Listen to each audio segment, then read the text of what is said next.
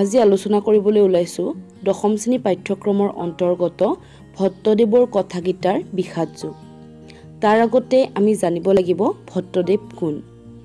ভট্টদেৱৰ সম্পূৰ্ণ নাম হ'ল বৈকুণ্ঠনাথ ভাগৱত ভট্টাচাৰ্য।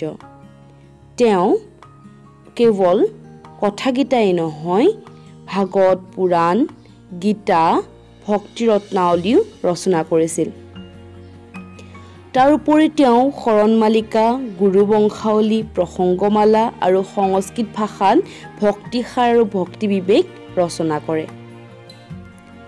ভাগৱতৰ বিশেষ বুৎপত্তি আৰু শাস্ত্ৰৰ ব্যাখ্যাত তেওঁ অগাধ পাণ্ডিত্যৰ পৰিচয় দিয়াৰ কাৰণে পণ্ডিত সমাজে তেওঁক কবিৰত্ন আৰু ভাগৱত ভট্টাচাৰ্য উপাধি প্ৰদান কৰে। ভট্টদেৱৰ গদ্য বুৰঞ্জী ভাষাৰ দৰে কথিত গদ্য নহয়।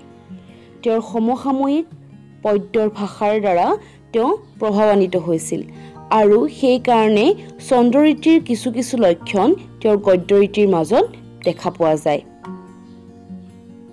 তাৰ উপৰিও তেওঁ যিহেতু সংস্কৃত পণ্ডিত আছিল সেয়ে তেওঁৰ গদ্যৰীতিৰ মাজত সংস্কৃত তৎসম তদ্ভৱ শব্দ তেওঁক অনিচ্ছাকৃতভাৱেই প্ৰয়োগ কৰিছিল।